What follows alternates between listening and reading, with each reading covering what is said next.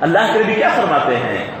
رضا رب فی رضا الوالدین و سخت رب فی سخت الوالدین کہ دیکھو والدین کی خوشی میں تمہارے رب کی خوشی ہے، والدین کی ناراضگی میں تمہارے رب کی ناراضگی ہے۔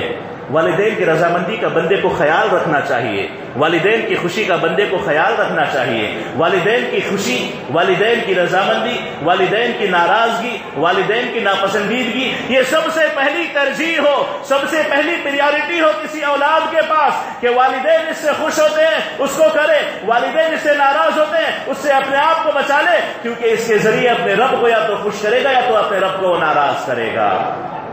وق اللہ کریمہ کہا کہ ان کے ساتھ ہمیشہ بہتر معاملہ کرو۔ ابا جان، امی جان، یا احترام کے اور جو الفاظ ہو سکتے ہیں۔ ابراہیم علیہ السلط والسلام نے اپنے مشرق باپ سے، اپنے مشرق باپ سے جو اس کی جان کے در پہ ہو چکا تھا، کیا الفاظ استعمال کیے؟